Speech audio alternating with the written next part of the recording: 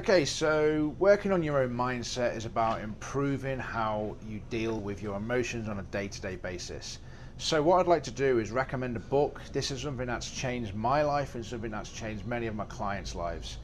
So, have you ever had anyone piss you off? Of course you have. You ever got really angry and you've got a voice in your head telling you what you're going to say to the person when you see them, and then for some reason you didn't actually see that person the next day for whatever reason, and you realise that most of the stuff that was actually in your head was completely stupid, and you think, thank God for that, I didn't tell them. So, what the chimp paradox does is suggests that you've got three brains. You've got your monkey brain or your chimp brain, human brain, and you've got your computer brain.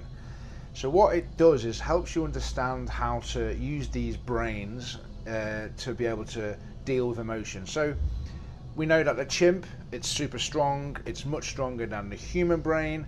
So basically, the chimp is very reactive. It's going to fire into lots of emotion, and that's going to be much more powerful than the human brain.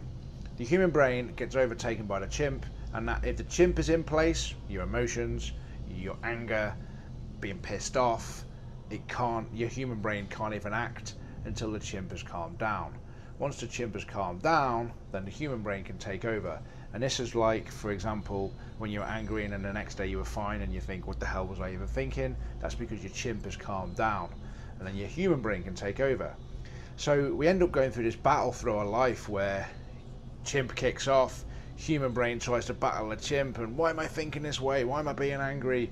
Why have I got gym anxiety? Why am I being stressed? Why am I pissed off with that person? And your chimp takes over and then when it calms down you, your human brain takes over and you end up with this up and down of both.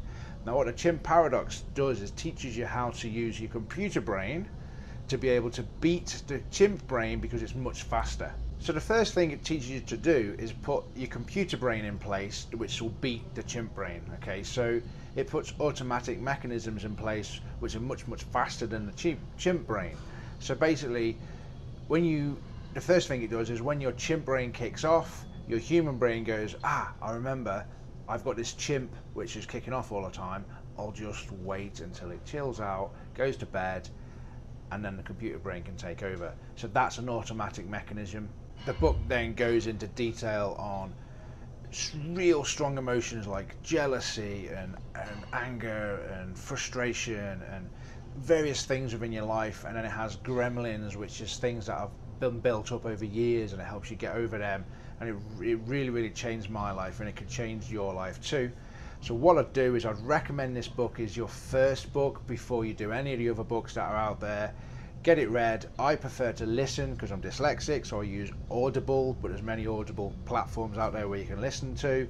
It's basically the first book in my Empowered Mindset Blueprint, and it's basically a reading list of all the books that I've read throughout the years that I'd highly recommend and I recommend to my clients to help them change their mindset as quick as possible so you can save a bit of time. It took me about a decade to read all these books, so you get the top 20. So these books will give you a, a much happier, more content, and a much more solid mindset.